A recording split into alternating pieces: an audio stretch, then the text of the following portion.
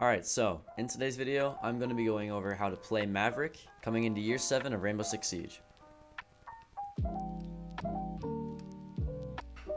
The first thing that we're going to talk about is Maverick's loadout. Now, Maverick has the choice between the AR-15 and the M4. The AR-15 is a DMR with 62 damage and 10 bullets.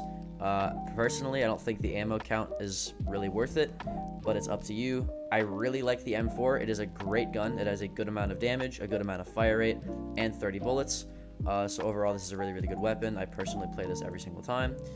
He has the 1911 TAC Ops, which is just a really good pistol, good capacity, good damage, good fire rate. Uh, and yeah, that's pretty much it for the guns. Going into his secondary gadgets, he has frag grenades or claymore. I've seen Maverick players bring claymore, and I don't really understand why. You always want to bring frag grenades, um, which I'll actually talk about later in a strat on how to open a wall. But frag grenades are, if you use them correctly, two free kills or two gadgets that you can destroy. And if you really are worried about your flank enough to bring a claymore, you can just put some drones down and have your teammates watch those drones. On the M4, I run the 1.5 scope with the flash hider and vertical grip. Uh, before they nerfed the angled grip, I would have run angled grip and muzzle brake, but now that they nerfed it, I'm running vertical grip and flash hider. This is mainly just to control that vertical recoil that would be very prominent if I had angled grip, as you can see in the change of pattern here. But with vertical grip, I run flash hider. This is just to control the X recoil. Flash hider does, you know, on an average level compared to compensator. It also hides the flash, but yeah, flash hider is just really good if you don't really have much recoil to control. You don't really know what to put on. Um, just pick flash hider. Also, extended barrel is not a bad choice either. Uh, so if you want to put that on, get that extra damage, then you can go ahead and do that. So okay, I brought us into a T-hunt right now. Um, I'm going to be showing you how to open up a reinforced wall in the most efficient way as possible as Maverick. So the first thing that you need to know is that there's two ways to open a wall. The first way is with his blowtorch, you draw a line at the top of the wall and you draw a line at the bottom of the wall and what this does is essentially takes the reinforcement off of the wall so that you can get your soft breacher to then open the wall. Right? Your, your Buck players, your Ash players, your Zofia players, they can open up the wall once you've taken off the reinforcement off of it, right?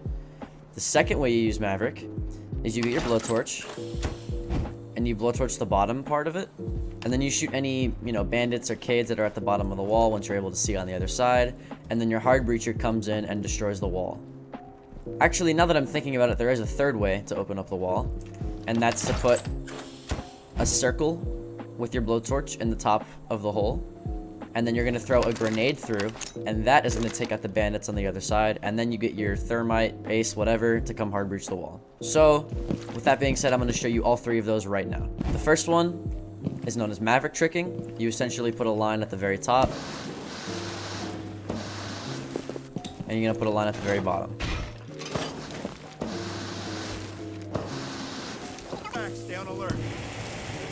Uh, I didn't do that the most efficient way possible, but you get what I mean. Now, why is the reinforcement still on the wall?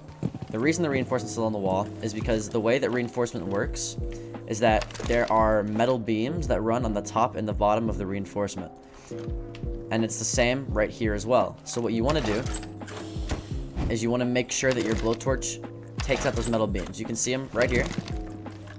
This metal beam runs all the way up and down. So what you have to do is get your blowtorch and break it it makes an audible sound, right? And then you go to this side, you do the same thing. You go to the bottom, and then boom, the reinforcement's off the wall. You can get a soft breach to come in, explode the wall, whatever. And yeah, that's Maverick Tricking. Okay, so the second strat is you're gonna put a Maverick line on the very bottom of this wall so that if there are any bandit charges any Kaid Claws, any Mute Jammers that are on the other side of this wall, preventing your Thermite from opening it, you can then just shoot it, or grenade it, or have one of your teammates shoot it, or grenade it, and it'll essentially make this wall free to open by any of your hard breachers that are waiting for you to open the wall for them. So what you do is you sit on one of the sides of the walls here. You don't sit in the middle like this because if you open the wall, they can sit here and shoot your feet, right? So you sit on the side of the wall, and this goes for the first strat too. Um, but you sit on the side of the wall. And you do this. So I just drew a line without exposing myself. And now I'm able to shoot any bandits or mutes on the other side of this wall. Let's say that that ammo is a mute jammer, right? Bam, bam, bam. I shoot it. I stand up. Our thermite player gets the wall right here. Now, watch out if you're a thermite player because they can still shoot your feet here. So what you'd want to do, let's pretend that this wall is outside, right, is you'd repel up and you'd go upside down on this wall and you'd place the thermite charge and then you'd be able to open the wall. And just to kind of show you what I mean, pretend I'm a thermite and my maverick, just open the bottom of this wall like this. What I'd want to do, instead of sitting right here where my feet can get shot and putting the thermite on the wall, I'd repel up. And then I'd go upside down on the rappel, and I'd put my thermite on the wall like this. That way my feet's not exposed and I can still get the wall open. Now the third strat, and my personal favorite to do on Maverick, is let's say that you have a wall here. What you're going to do is you're going to draw a circle like this. Which doesn't take a lot of your mav fuel. It only takes like not even a full canister. And what you do is, let's say they have Jaeger ADSs or Wamai discs on the other side of this wall. You're going to get anybody with flash grenades or smoke grenades to throw their grenades through that hole. That's going to make it to where when you throw your frag grenades, they don't get caught by any defender utility or any anti-grenade utility. So let's say my thermite just threw flash grenades in here to burn the ADS. What I'm going to do is I'm going to sit here with a grenade. I'm going to cook it and I'm going to bounce it off the roof.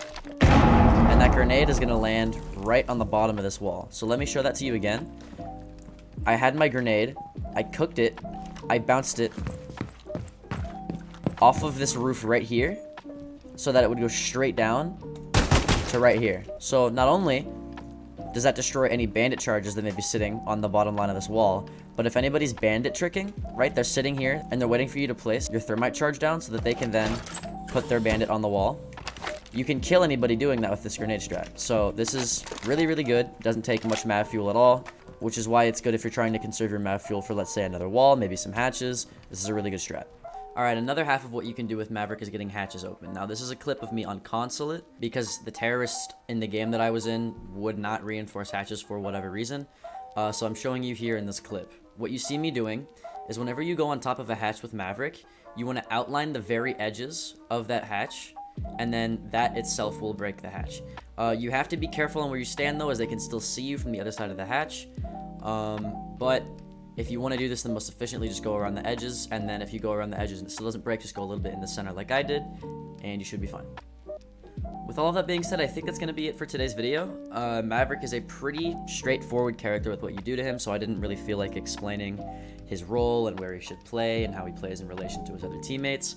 All you do is you help your supports open the wall or you get hatches. Those are the two sides to playing Maverick. I'm going to try to do another attacker operator guide at some point during this week.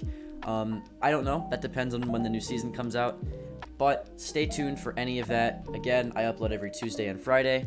I also am starting to stream almost every single day on Twitch. Link is in the description. I'm uploading daily on TikTok and Instagram, also YouTube Shorts. Links are in the description for that too. And yeah, that's pretty much it. Don't forget to subscribe. If you like the video, like it. If you dislike the video, dislike it. And I'll see you in the next one.